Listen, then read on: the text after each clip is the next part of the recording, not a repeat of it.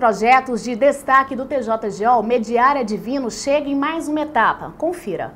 O Núcleo Permanente de Solução de Conflitos promoveu o segundo curso de mediação do projeto Mediária Divino, iniciativa inédita do TJGO, que está concorrendo ao Prêmio Inovare 2016 na categoria Tribunal. O curso teve a participação de representantes de diversos segmentos religiosos e que já desenvolviam algum trabalho social.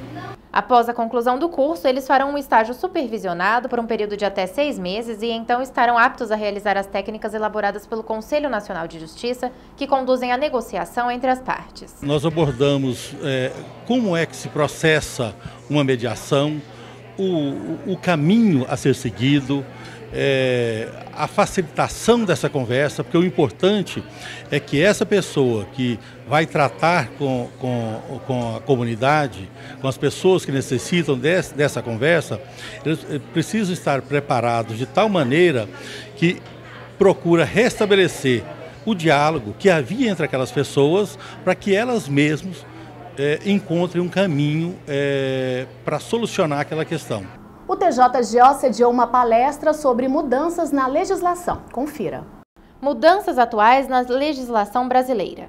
Este foi o tema da palestra ministrada pelo desembargador Luiz Cláudio Veiga Braga, a convite da Superintendência de Inteligência da Secretaria de Segurança Pública aos participantes do curso de Inteligência em Segurança Pública. O curso teve a participação de diversos profissionais, como delegados, policiais civis e agentes da Agência Brasileira de Investigação, a ABIN. O superintendente de inteligência da SSP afirmou que o objetivo é capacitar os profissionais que usam a inteligência como ferramenta de trabalho e, posteriormente, desempenhar um trabalho integrado em benefício da segurança pública do Estado. Nas investigações, defrontamos com situações, inclusive recentes, que causam é, uma certa dificuldade para o operador é, seja ele o delegado, seja ele é, o policial que está ali à frente daquela investigação. Consequentemente, nós convidamos o Dr. Luiz Cláudio Beida Praga pela, pelo seu conhecimento, para que ele possa trazer os entendimentos recentes dos tribunais, é, não só aqui de Goiás, mas também os tribunais superiores, para que a gente possa então conversar e que ele possa então esclarecer esses pontos para o benefício da formação do nosso profissional de segurança pública. O desembargador Luiz Cláudio afirmou ser importante o diálogo entre as distintas esferas dos poderes. É a oportunidade que o Poder Judiciário tem de passar informações e de dar a visão do Tribunal de Justiça a respeito do sistema de investigação, atualizando com as decisões mais polêmicas e as manifestações do Tribunal sobre temas que são caros a quem atua no âmbito da investigação policial. E mais uma exposição de artes é realizada no hall do Tribunal de Justiça. Confira. O Tribunal de Justiça de Goiás inaugurou a exposição Dueto. De autoria dos artistas plásticos autodidatas Laurice Noleto e Leonel Guerra, as obras trazem representações da natureza, paisagens e figuras humanas, utilizando a técnica de óleo sobre tela. O presidente da Comissão Cultural do TJGO, desembargador Itanei Francisco Campos, e vários artistas participaram da solenidade. A exposição ficará no Espaço Cultural Goiandira do Couto, no Hall do Tribunal, até o dia 26 de dezembro. Veja agora as oportunidades de emprego disponíveis no Judiciário em todo o país.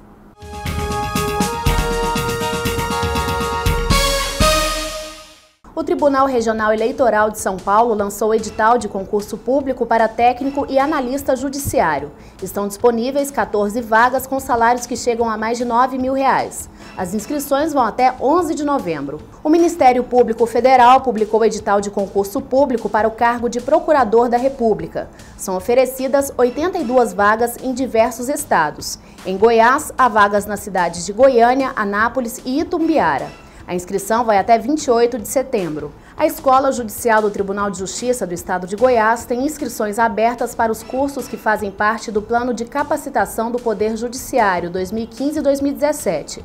Os interessados devem se inscrever pelo site da plataforma de ensino à distância.